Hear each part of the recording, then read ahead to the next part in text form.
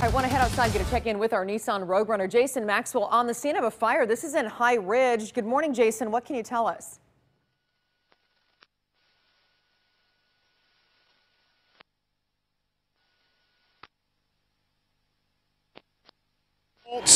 Four children. Everyone made it out safe this morning. Everyone made it out safe this morning.